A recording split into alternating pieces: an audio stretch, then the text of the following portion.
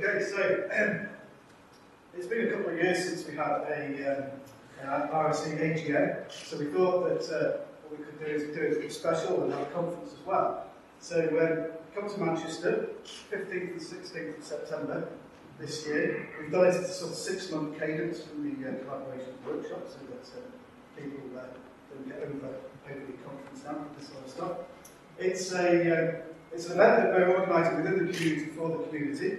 So if you'd like to be involved, please do join with the, uh, the RSE website. Come and talk to me this week about what you'd like to help us with.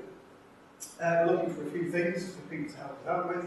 Uh, we really need a diversity check. So if anyone feels strongly about diversity in our, um, our section, which let's face it isn't massively diverse, but could be better. So please uh, come along with that and, um, and uh, volunteer for that. So, uh, plenaries, talks, workshops where you will learn something. The calls for these will go out soon, we hope, and we are um, in the process of finalising a venue, so I will hopefully be able to tell people where that is soon, but it will definitely be in Manchester. Uh, that's about as far as we've got so far. Um, I think that's all I really have to say. So um, if I just stand here for the next 45 seconds, I will write some dates down. really, really useful.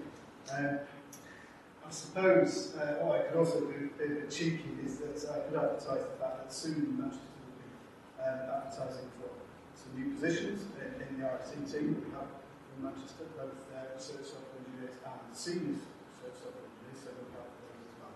Um, I'll leave you to make more notes on the, date.